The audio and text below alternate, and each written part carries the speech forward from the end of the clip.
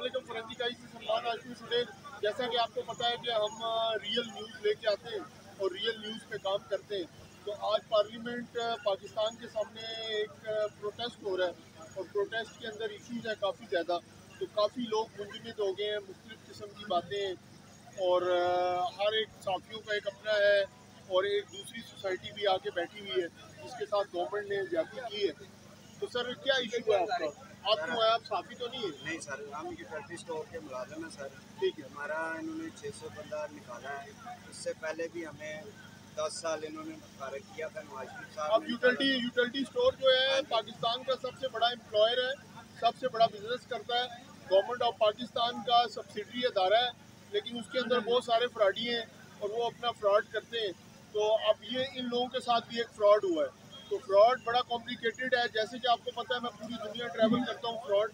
तो सर क्या हुआ आपके साथ? इशू क्या हुआ? सर पहले हमें इन्होंने निकाला था सियासी बेस पे। इन्होंने कहा था कि ये बेनजीर नहीं है। इस वजह से हमें इन्होंने दी मेरी तकरीबन पैंतीस हज़ार रुपये चल है। अच्छा। चौथे स्केल का मैं मुलाजम हूँ। ठीक है। और ये मेरे साथी भी हैं जो उनसे साथ है। ये चौथे स्केल के हैं सर चौथे सातवें स्केल का ठीक। तो आप कहाँ पोस्टेड कहाँ थे हम लाहौर से आए लाहौर अब आप ये देख लें पाकिस्तान के अंदर जो मजदूर है जो यूनिटी स्टोर में दाल उठाता है चीनी उठाता है छोटे छोटे काम करता है पूरी दुनिया में सबसे बड़ा स्टोर यूनिटी स्टोर पाकिस्तान में है।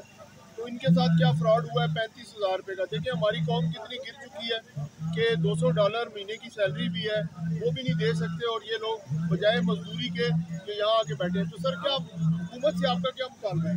हमारा हुकूमत से ये है कि ये दो हज़ार ये एक है ये दोबारा बहाल किया जाए, और हमारा जो के साथ है, अल्लाह के चीफ जस्टिस से भी हम यही अपील करते हैं कि दोबारा हम हमारे बच्चों पे हम पे रहम किया जाए।